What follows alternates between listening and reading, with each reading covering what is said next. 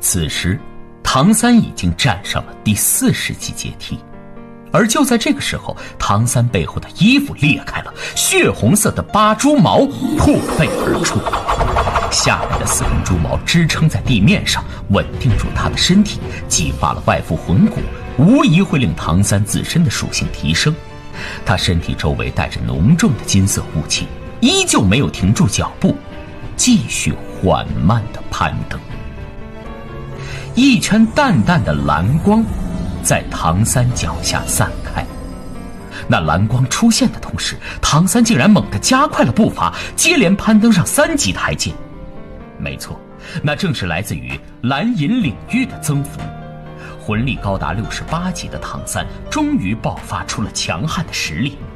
四十九，五十，唐三又坚定地迈出两步。可此时他发现。自己已经寸步难行。尽管奇经八脉已通，他魂力的恢复速度远超常人，可他毕竟没有像戴沐白那样增幅自身的魂技。此时，他体内魂力的恢复速度已经赶不上消耗的速度。又是一道白光涌出，这一次，唐三双脚连动，竟然接连登上五级台阶。杀神领域也在这强大的压迫下出现了。当蓝银领域出现的时候，唐三明显感觉到身体一轻。此时杀神领域出现，他产生了同样的感觉。就是借助领域之力，他才能再次攀登。